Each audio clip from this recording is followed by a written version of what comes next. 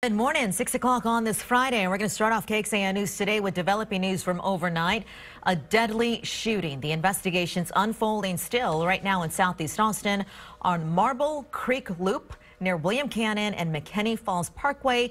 This is a neighborhood, a residential neighborhood, and Austin police are still on the scene this morning as we give you a live look at the police activity. You see the crime scene, you see police out there still investigating. They do say no public threat at this time, but they're trying to piece together what happened.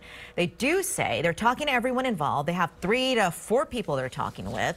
No word on the cause, but we can share the timeline of what police say happened.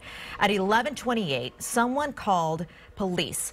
Uh, officers arrived. They didn't find anyone. 1151, police got a call from a worker at South Austin Hospital saying there is a shooting victim there. Well, that's when police connected the dots, connected the victim to the first call. The man died at the hospital. This is why this is a deadly shooting that's now under investigation. We know that he's 28 year old. Um, they're not releasing the name just yet until they notify the rest of his family. Police did say that they found a weapon at the scene. Once again, a live look right now of a deadly shooting.